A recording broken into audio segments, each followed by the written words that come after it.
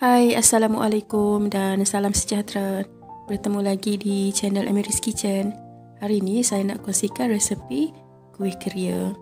Okey, mula-mula sediakan dulu keledek. Ni saya ada lebih kurang 500 gram keledek yang telah pun dikupas kulit.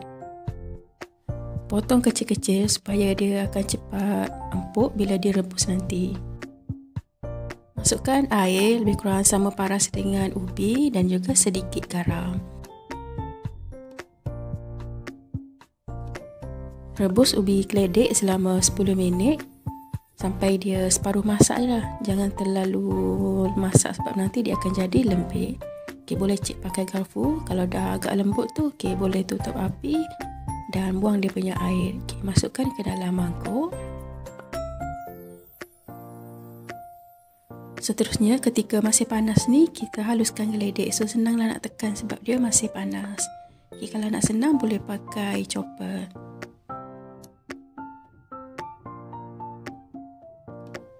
Bila dah lembut halus macam ni, okay, masukkan setengah cawan tepung gandum dan juga sedikit garam.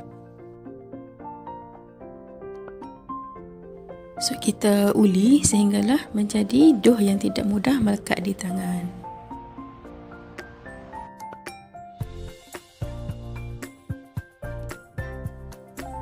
Sapu sedikit minyak pada tangan, kemudian bulat-bulatkan doh tadi sebesar bola pingpong macam ni. Okay, berat dia lebih kurang 30 gram. Cara nak buat lubang di tengah tu, okay, kita lepaskan doh tadi. Sapu sedikit minyak pada hujung jari dan tekan bahagian tengah. Okay, tekan pada kedua-dua bahagian lah supaya dia akan nampak kemas. Okay, dah siap dah satu biji. So, ulang lagi step yang sama.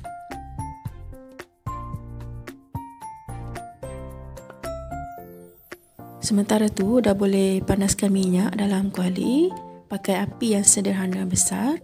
Okay, bila dah panas tu bolehlah start goreng keria. Okay, balik-balikkan kuih keria ni supaya dia masak merata. Okay, bila dah kekuningan tu bolehlah angkat dan toskan minyak. So kita biarkan dia sejuk dulu sebelum salut dengan air gula. Okay, cara nak buat air gula, okay, masukkan 4 sudu besar gula. Masukkan 3 sudu besar air. Jangan banyak air lah sebab takut terlalu cair. Okey, kita biarkan dia masak sehinggalah berbuih macam ni. Kena perhatikanlah bila tekstur dia dah betul-betul likat, berkilat. Okey, masukkan kuih keria tadi. So kita gaul rata.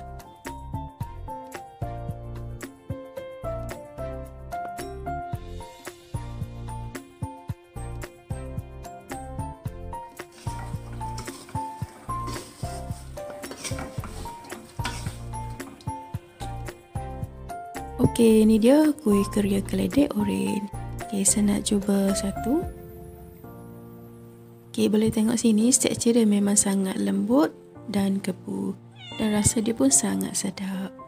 Okey, itu saja perkongsian pada kali ini. Jumpa lagi pada video yang akan datang. Jangan lupa like dan subscribe. Thank you. Bye.